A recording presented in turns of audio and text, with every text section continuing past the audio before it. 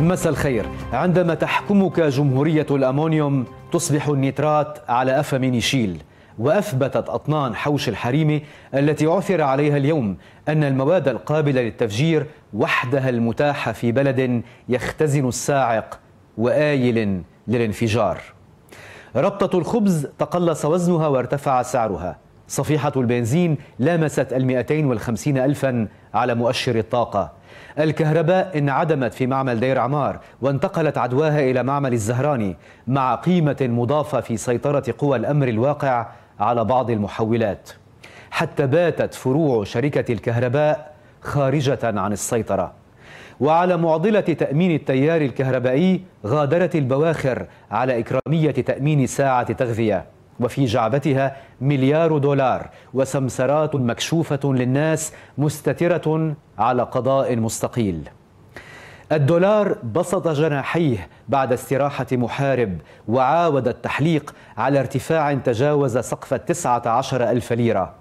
تعرفة الهاتف من مستحيل زيادتها إلى إن شاء الله وغدا لا حول ولا قوة إلا بالله.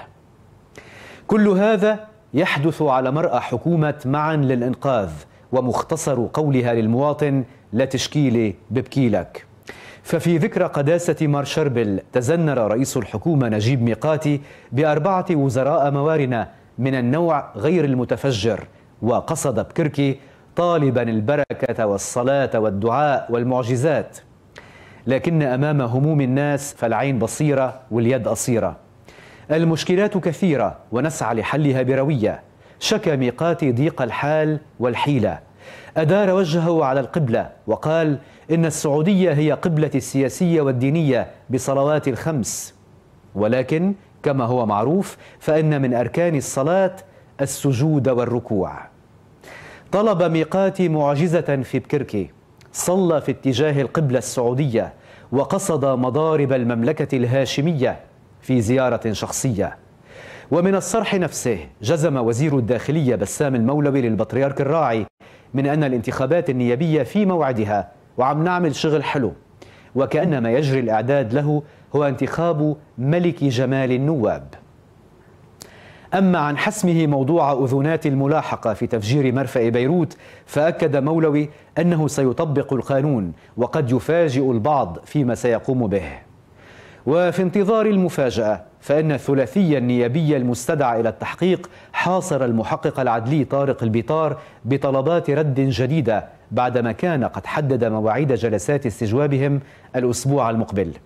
فالنائبان المدعى عليهما علي حسن خليل وغازي زعيتر اختارا ربع الساعة الأخير للمثول أمام البيطار وقدما دعوى رد البيطار عن ملف المرفأ. وهذه المرة أمام محكمة التمييز المدنية. وفي الوقت الضائع اختار النائب المدعى عليه نهاد المشنوق الارتياب المشروع لنقل الدعوى.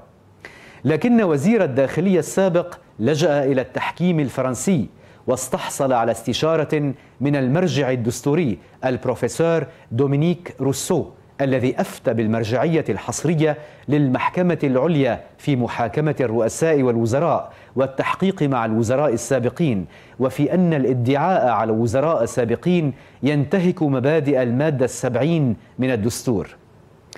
وكان الوزير السابق يوسف فنيانوس قد تقدم بطلب نقل دعوة للارتياب المشروع قبل أن يتقدم بإخبار بالتزوير الجنائي بحق القاضي طارق البيطار. وعليه فإن ما قبل التاسع من تشرين الأول لن يكون كما بعده. فبعد هذا التاريخ ستعود الحصانات إلى قواعدها مع انعقاد الدورة العادية لمجلس النواب. وقبل هذا التاريخ حول المدعى عليهم مذكرات التوقيف إلى كرة يتقاذفونها بين القوانين والمحاكم التمييزية والمدنية. وبين الاحتمالات والاحتيالات على التحقيق لإمرار الوقت والعودة إلى الاحتماء وراء الحصانات.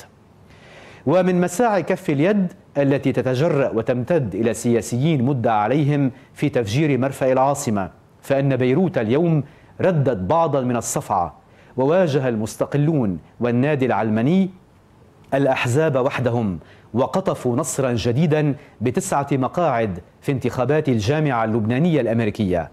وعلى الرغم من انقطاع الإنترنت والتصويت أونلاين فإن الصوت ولو عن بعد بوده.